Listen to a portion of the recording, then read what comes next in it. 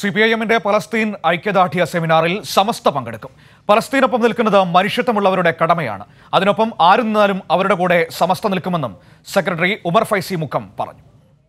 Palestine പ്രശ്നം മർദ്ദിതരെ ലോകത്ത് തുല്യതയില്ലാത്ത മർദ്ദനം നടത്തപ്പെടുന്ന ഒരു പ്രദേശമാണ് പലസ്തീൻ.